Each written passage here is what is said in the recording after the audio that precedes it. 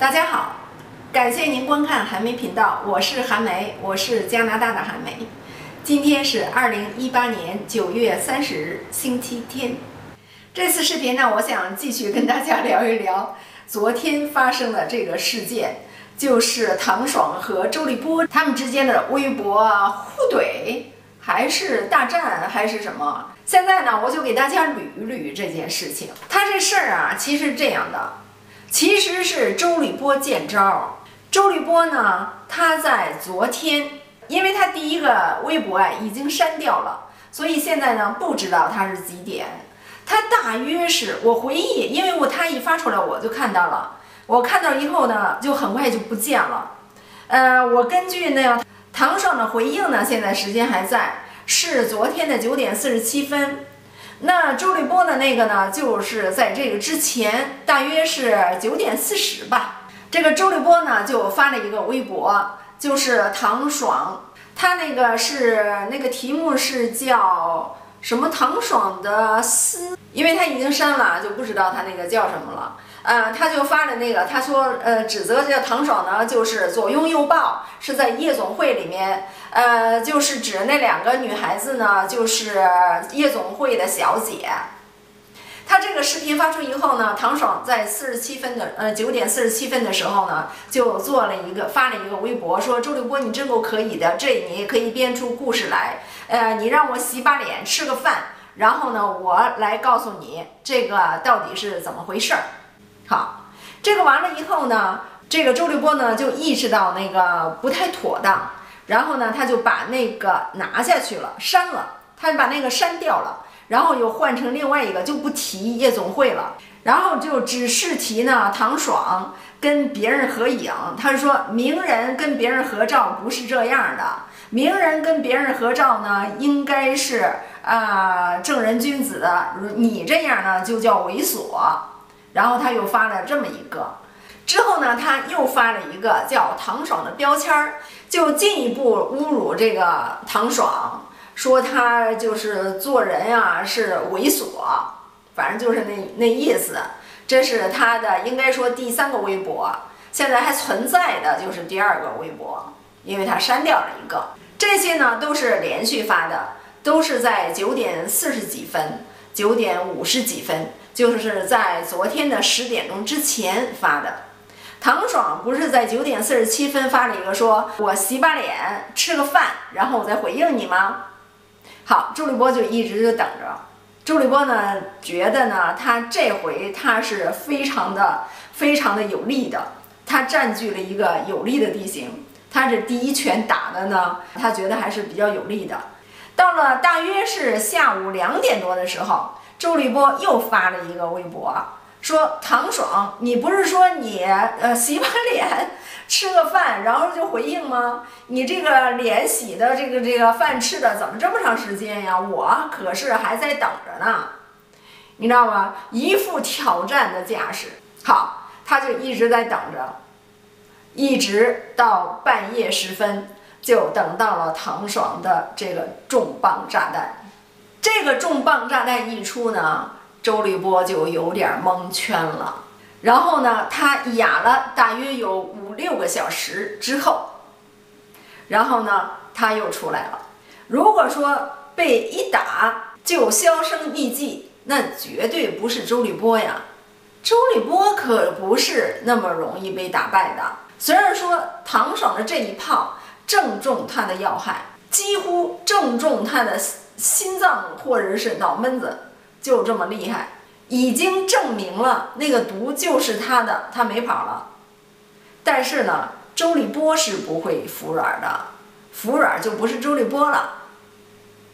周立波是如何应对的呢？大约是今天早晨八点钟的时候，周立波又发了一个微博，他发了一个微博说：“这才像你嘛，这才像你唐爽。”他这个微博呢，主要内容我还是给大家读一读吧。嗯，他是这样的哈，他是这样说的：唐爽，这才像你，这才是你，这就是你，这就是你的铁证如山。你不觉得从现在起，你的人设已经永久性定型了吗？好，等我洗把脸，吃个饭，再继续戳穿你和你金主的欺世之作。我不知道他这是嘴硬呢，还是他真的认识不到自己的问题。听他这口气呢，他觉得呢，这个唐爽啊，又进一步暴露了唐爽自己的一个弱点。他就觉得呢，我又抓住了你一个命门。我看了一下周立波这个微博下面的那些留言，看到呢有很多人，我不知道是不是说周立波就是全是周立波的水军，几乎在他那微博里面呢，几乎是得有百分之九十以上的人都觉得说那个唐爽呢，他还录视频，简直就是小人，反正就是这么一个口径。好，这是他的回应的第一个微博，这大约是今天早晨八点钟发的。然后接着呢，他其实马上又发了一个，其实他没有去洗脸，没有去吃饭，他就是讽刺唐爽前面的那两句话啊。他接着又发了一个，我先插播一段网友分析，为大家热热身。在此声明，这位网友的分析，其观点与本人认知有相同，也有冲突，但我还是感谢这位网友的全心关注，深表感谢。这位网友的这个分析的题目是什么呢？唐爽今日偷录胡杰视频，逐句翻译。这很显然的，反正就是为周立波来那个说话呗。周立波呢就觉得这是对他的一个帮助，就赶紧把这个转发上来了。好，这是这个，我就不跟大家来那个分享了。完了以后呢，周立波又发了一个，周立波说：“唐爽，你要还是人，我便愿意陪你一起下地狱。你看看这些曾经的对话，你再看看你今天的视频。”他又贴出来了他以前这个唐爽在他家治病的那会儿他们的一些个对话，那些个微信留言。这些呢，其实他以前已经都晒过了。每次呢，就是当他没理的时候，当他被唐爽那个怼回来的时候，然后呢，他就开始打这个温情牌，然后就跟那个情义方面就来谴责这唐爽。他就觉得我对你这么好，然后你都来攻击我，你还偷录视频，你还算个人吗？他就从来都不从自身来找找原因。你要不想，如果你不是说你找一个啊那么卑鄙的一个小人去录人家一段视频，人家只是同跟同学跟那儿合个影，然后就录下来，然后就那个我不知道是周立波被骗了呢，还是周立波自己想骗这个网友，说那是夜总会的。对吧？如果你不见这个招儿的话，人家唐爽能发这视频吗？这视频在唐爽的手里面又不是一天两天了，他不是一天两天了。这个视频在唐爽手里面，他是二零一七年一月二十四号录的，到现在对吧？都快两年了，唐爽没有放出来，其实够讲情义的了。谁讲情义，谁不讲情义？其实现在大家就是。已经是一目了然了，这很明摆着的事儿，对吧？和尚头上的虱子明摆着的，现在又拿出来这些个微信留言，然后来来谴责这个唐爽，还有啥用啊？那些都不重要啊，重要的是一直说不清楚了，毒现在说清楚了呀，一直说不清楚那毒是谁的，现在就铁证如山了，就是你周立波了，你还说啥呀？打这种温情牌有什么用啊？又摆出来说当初给唐爽治病这事儿有什么用吗？好，刚才那个是今天早上八点钟他发的，然后呢，四个小时之后，然后他又发了一个，这个呢其实挺长的。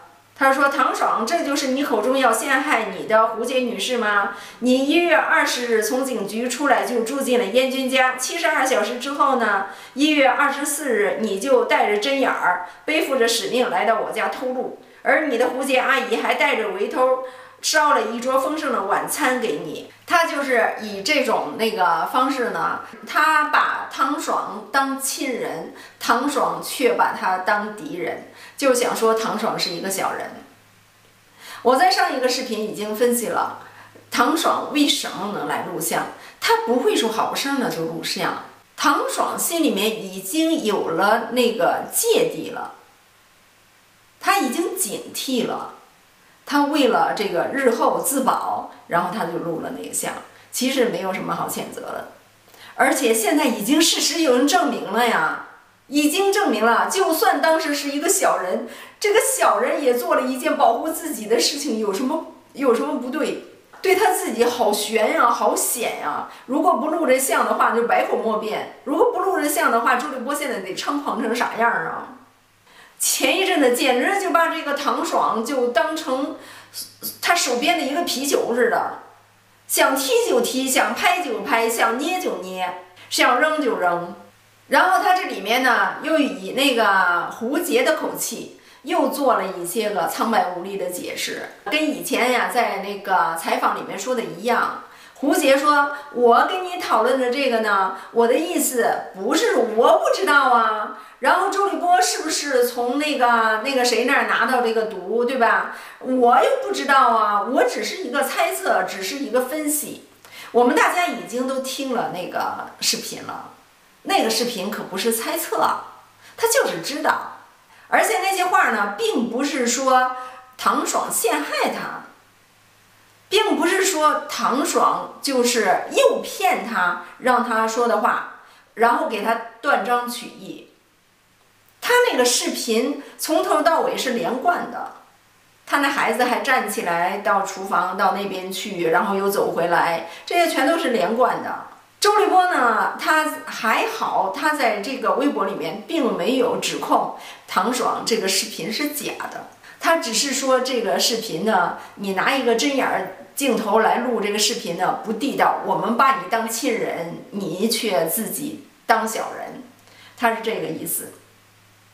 但是现在说这个真的是太晚了，太晚了，这周立波，周立波一天到晚的见招。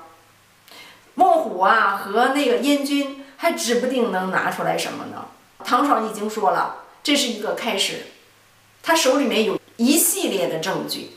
现在我相信网友们比当初期待那个王志安的视频还更期待唐爽的这个爆料。周立波真的是自找，这周立波真的是作孽，他老是一而再再而三的去逼，他就逼这个唐爽。其实他之前呢，他也逼那个莫虎，他没有太逼燕军。我估计他对燕军挺怕的。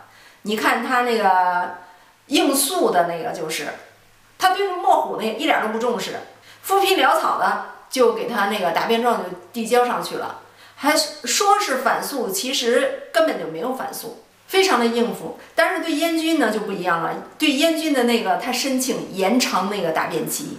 他就是欺负这个唐爽和莫虎。莫虎呢，因为他受到他律师的保密义务的限制，我估计莫虎呢不好出来说什么。在法庭上，莫虎一定会说的。他这件事情啊，其中的故事太多了。本来他这个枪毒这案本身呢，没有太复杂，但是呢，他们这几个人之间呢，搞得复杂了。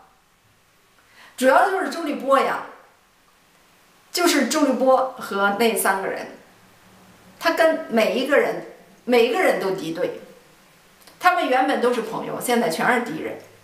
人家那三人互相之间没什么，但是他跟每一个人都是敌人，一而再再而三的刺激这个唐爽，终于把唐爽刺激翻了，快两年的证据握在手里都没有拿出来。这回拿出来了，这回周立波麻烦大了。好，感谢您的观看，下次再见。